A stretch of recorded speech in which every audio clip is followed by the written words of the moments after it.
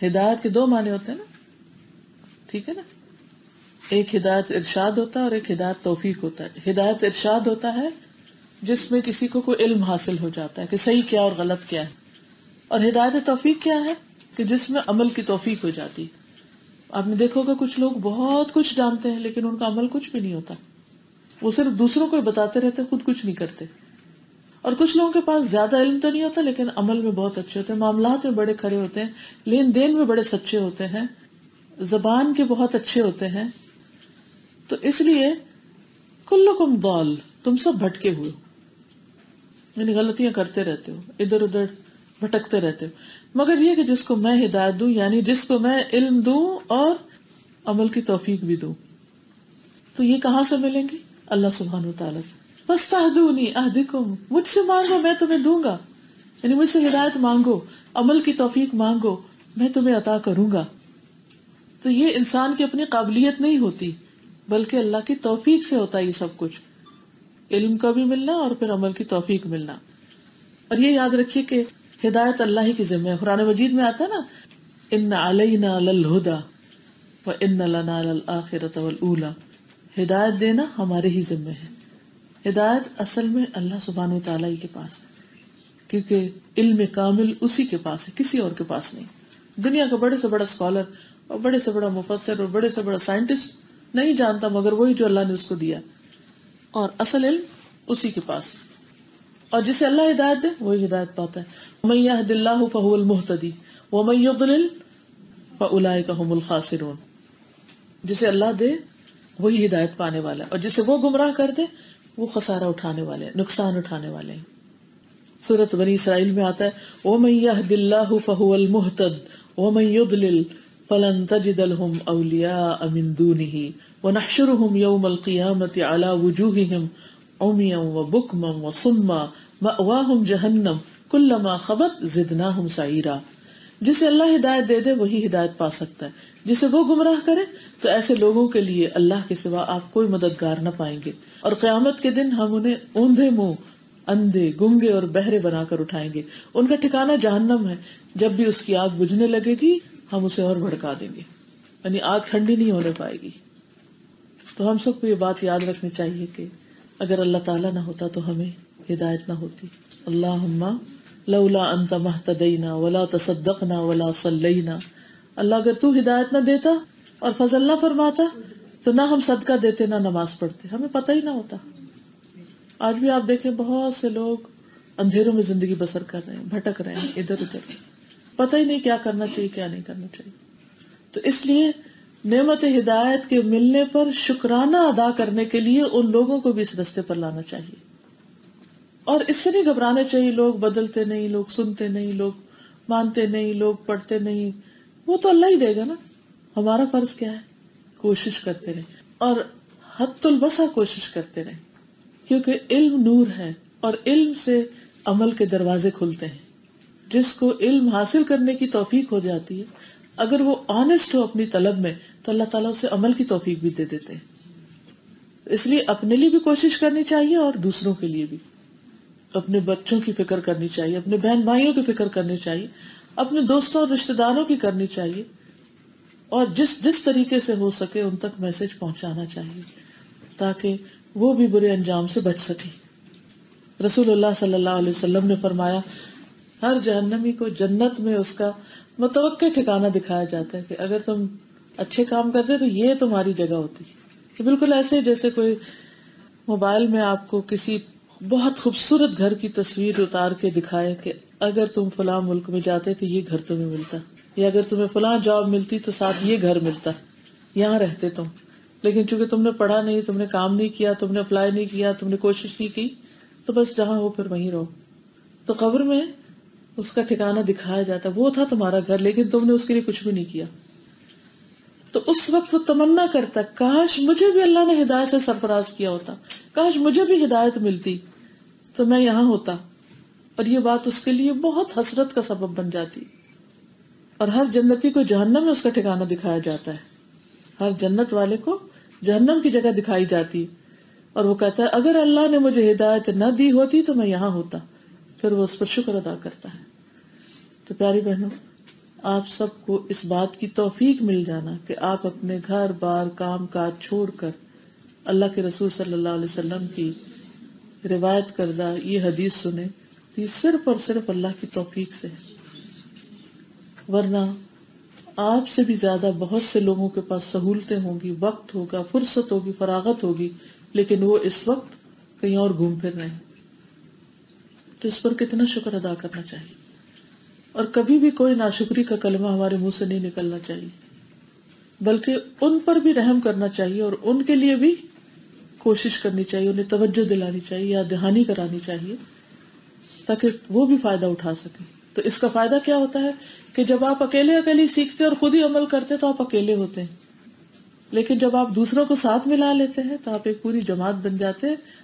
आप उनके लिए दुआएँ करते हैं, वो आपके लिए करते हैं। और फिर एक दूसरे को सपोर्ट करते हैं। और फिर जमात पर अल्लाह का हाथ होता है। और फिर अल्लाह ताला की रहमतें नाजिल होती हैं। इस्तकामत इख्तियार करना आसान हो जाता है। तो कर भला हो भला। जो किसी का भला करेगा, अल्लाह ताला ज़रूर उसका करेगा।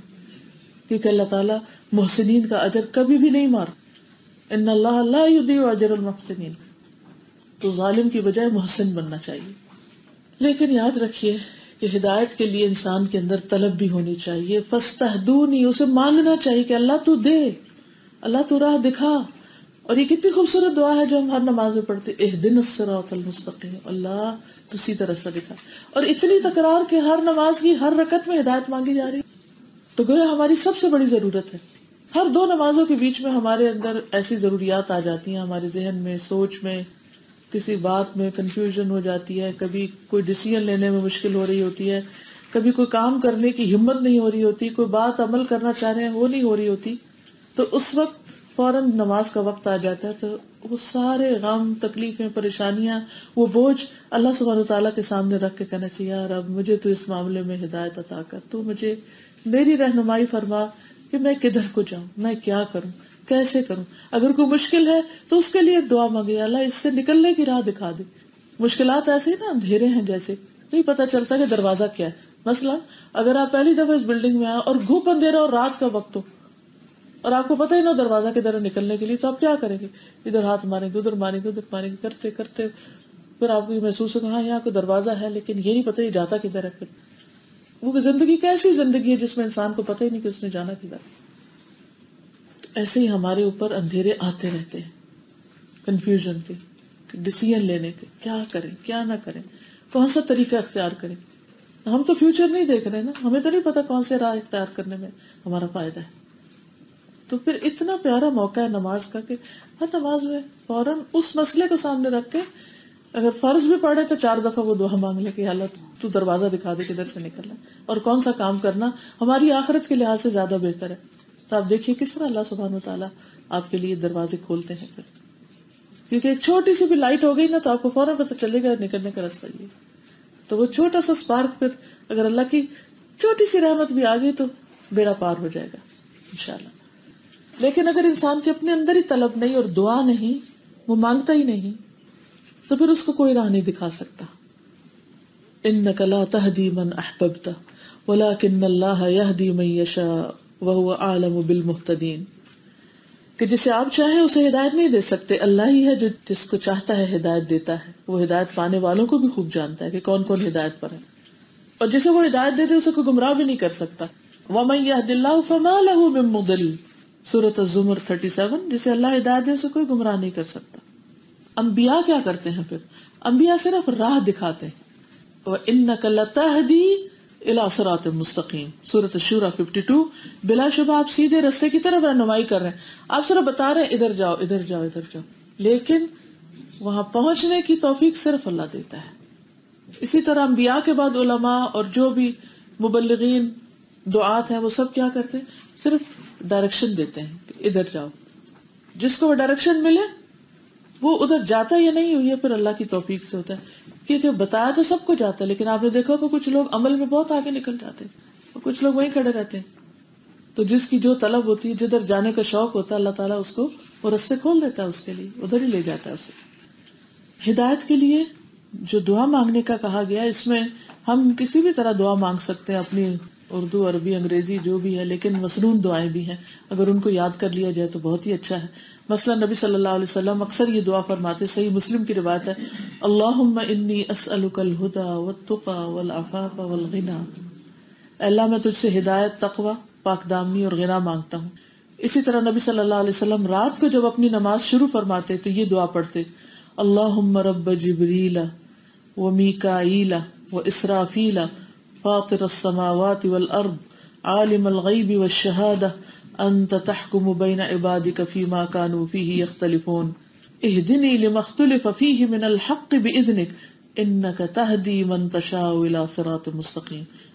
बहुत ही खूबसूरत दुआ सही मुस्लिम ही की है कि ए अल्लाह जिब्राइल और मीकाइल और इसराफील के रब पुकारने के मुख्तलिफ अंदाज है ना और ये इस बात का इजहार भी है कि वो रब नहीं है वो कुछ नहीं दे सकते, कर सकते। असल करने वाला अल्लाह ही है। आसमानों और ज़मीन के पैदा करने वाले, ज़ाहिर और बातिन के जानने वाले, तू ही अपने बंदों के दरमियान फैसला करेगा, जिसमें वो इख्तलाफ कर रहे हैं। हिदायत की वहाँ भी ज़रूरत होती है ना, सही चीज़ की, सही डायरेक्शन लेने की, जहाँ लोगों में इख्तलाफ बहुत हो। जैसे बाजुकत फिकी इख्तलाफात होते हैं। बाजुकत गुरूही, लिसानी, कई तरह के इख्तलाफात होते हैं। इंसान को समझ नहीं आती कि वो करे क्या, किधर जाए। और अमूमन शैतान ऐसे मामलों में कंफ्यूज करके इंसान को दीन से ही दूर कर देता है, हक से ही हटा देता है बाजुका तो ऐसी सूरत में भी इंसान को अल्लाह से दुआ मांगनी चाहिए कि अल्लाह ताला मुझे खैर की राह दिखा और हक पर मुझे जमा दे। हुँ? अब आप देखिए, ये दुआ कौन मांग रहा है? सल्लल्लाहु अलैहि वसल्लम कि हक की जिन बातों में इख्तलाफ हो गया है तो मुझे उनमें सीधे रास्ते पर रख। कितनी प्यारी दुआ है। अच्छा एक वक्त होता है जो इंसान को इल्म नहीं होता। फिर एक वक्त आता है, अल्लाह ताला रोशनी दिखाता है आपको, कुरान की समझ आने लगती, हदीस की समझ आने लगती। फिर उसमें लोग इख्तलाफ शुरू कर देते, नहीं, इसका ये मतलब नहीं, ये मतलब ये काम ऐसा नहीं, ऐसे करो। अच्छा तो बहुत से लोग इस तरह की बातें सुन के क्या करते हैं? वो कहते हैं, जब मैं ये नहीं पढ़ रहा था तो ज़्यादा अच्छा था, ये झगड़े तो नहीं सुनता था। वापस चलो। वो अच्छे भले दीन में आके वापस चले जाते कई लोग इस तरह भटकते हैं। कई लोग बाहर तो नहीं जाते, लेकिन अंदर रह के भी एक जब परेशानी और बेचैनी का शिकार रहते हैं तो वो कौन दूर कर सकता है? कोई नहीं सिवाय अल्लाह के। तो ऐसे मामला में क्या करना चाहिए? कि जब कोई मजहबी इख्तलाफ करे फिक इख्तलाफ करे मसल की इख्तलाफ करे, कुछ करे, क्या कहे? अल्लाह से मांगे, या अल्लाह, मुझे तो तुझे राज़ी करना है। और मुझे वो रास्ता चाहिए जो सबसे ज़्यादा तुझे पसंद है। मुझे ना अपने नफ्स का कोई लजत चाहिए या अपने किसी खास ग्रोह की कोई रियायत चाहिए। मुझे वो चाहिए जो तुझे पसंद है। अल्लाह वफ़िक ना लिमा तो तरदा। और हक सामने आ जाए तो कबूल करने में कोई रुकावट ना रहे, ना अंदर की, ना बाहर की। क्योंकि बाजुकत हक समझ आ रहा होता है। कि यही हक है, यही सच है। क्योंकि अल्लाह ताला ने फरमाया, या रसूलुल्लाह सल्लल्लाहु अलैहि वसल्लम ने फरमाया, लेकिन हम क्यों नहीं आगे बढ़ के उसको लेते? नहीं वो हमारे इमाम ने नहीं फरमाया या फुला ने नहीं कहा उसकी इजाज़त नहीं उसकी रुख्सत नहीं उस, ना उसके रहे ना उसके रहे कुछ भी ना किया। क्योंकि ये बहुत से इख्तलाफात और बहसों का मकसद असल में क्या होता है कि लोगों को कि लोगों को सिर्फ़ अपना बना लिया जाए कि जो मुझे पसंद है सबको उसका कायल कर लिया जाए। तो हमारी पसंद क्या होनी चाहिए? जो अल्लाह सुबहान तला ने फरमाया जो रसूल अल्लाह सल्लल्लाहु अलैहि वसल्लम फरमाया ये थोड़ी देखना मेरा उस्ताद क्या कहता है मेरी जमात क्या कहती है, मेरा ग्रोह क्या कहता है। क्या कोई उस्ताद, कोई जमात, कोई ग्रोह कोई लीडर, कोई इमाम बचाएगा क्यामत के दिन? नहीं। तो हक को तलाश करने के लिए हम में से हर एक की सिंसियर संजीदा और सच्ची ऑनेस्ट डिज़ायर और दुआ और तलब ये होनी चाहिए कि अल्लाह ताला आप मेरे लिए चूज़ कर दें कि इसमें से आपको क्या पसंद है। मुझे समझ नहीं आ रही, जो आपको पसंद है, बस मुझे वो करना है। मुझे ये नहीं देखना किसको क्या पसंद है। मुझे ये देखना आपको क्या पसंद है। बस मेरा हाथ पकड़ के आप उस तरफ़ ले जाए। जब इंसान अपनी तलब में ऑनेस्ट होगा तो बिलीव में अल्लाह ताला ज़रूर राह दिखा देगा। लेकिन अगर अंदर में कोई खराबी होती है ना कि जब आपके अंदर किसी एक तरफ़ आप झुक रहे होते हैं दूसरी तरफ़ झुक रहे होते हैं तो फिर अल्लाह ताला छोड़ देता है चलो भटकते रहो फिर। एंड ऑफ़ द डे हमने किसके सामने जाके खड़े होना? किसने हमारे अमाल देखने? किसने हिसाब लेना? है अल्लाह सुबहान तला ने। इसलिए उसको राज़ी करना ही हमारा मुंतहा नज़र होना चाहिए। बस, ये हमारा गोल कि उसको राज़ी करना है। बंदों को नहीं। क्योंकि अगर आप बंदों की मर्ज़ी की सौ बातें करेंगे ना और एक सिर्फ़ आपने उनके खिलाफ कर दी ना तो क्या होगा? वो सौ भूल जाएँगे। और एक पे पकड़ लेंगे आप। कभी बंदे भी राज़ी हुए? अगर बंदों को राज़ी भी करना है तो बस अल्लाह को राज़ी करने के लिए, बस। और फिर उसके बाद इंसान को इतना इतमान होता है जब सारी दुनिया भी नाराज़ हो जाए तो इंसान कहता है, यार, तेरी खातिर, बस।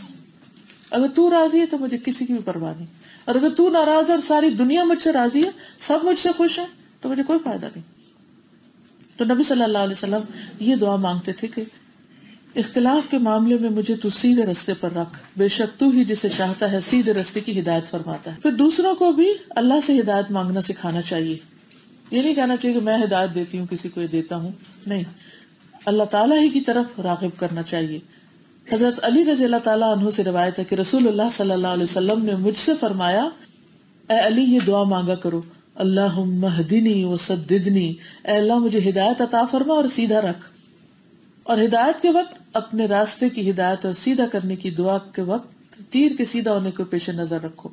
इन जैसे तीर सीधा होता है ना तो अल्लाह मुझे इतना सीधा कर दे। कोई टेढ़ ना रहे मुझमें, ना मेरी थिंकिंग में कोई टेढ़ रहे, और ना मेरे अमल में स्ट्रेट सद्दिदनी तस्दीद कहते तीर को सीधा करने को हज़रत हुसैन बिन अली, जो नबी वसल्लम के नवासे हैं, हज़रत अली के बेटे हैं, वो कहते हैं कि रसूल अल्लाह सल्लल्लाहु अलैहि वसल्लम ने मुझे चंद कलिमात सिखाए, जिनको मैं वितर में पढ़ता हूँ। अबू दाऊद की रिवायत है और वो कलिमात है अल्लाहदिनी फ़ी मन हदैत वाफ़िनी फ़ी मन आफ़ैत व तवल्लनी फ़ी मन तवल्लैत मुबारक ली फ़ी मा आतैत वक़िनी शर्र मा क़दैत फ़इन्नक तक़दी वला युक़दा अलैक इन्नहु ला यज़िल्लु मन वालैत वला यइज़्ज़ु मन आदैत तबारक तरब्बना व तआलैत नस्तग़फिरुका व नतूबु इलैक तो ये हज़रत हुसैन रज़ी अल्लाह को नबी सल्लल्लाहु अलैहि वसल्लम ने दुआ सिखाई थी जो वितर में पढ़ते थे। फिर इसी तरह, जब कोई नया मुसलमान होता है, उसको भी दुआ सिखानी चाहिए हिदायत की। यानी कोई न्यू मुस्लिम होता है, कि वो उसके लिए बड़ा नाजुक मरहला होता है, कि वो इधर आए या वापस पलट जाए। और कई केसेस में होता भी है कि लोग आते हैं और फिर पीछे चले जाते हैं। तो हदीस में आता है, सही मुस्लिम की हदीस है कि रसूलुल्लाह सल्लल्लाहु अलैहि वसल्लम, हर मुसलमान होने वाले आदमी को ये दुआ सिखाते थे।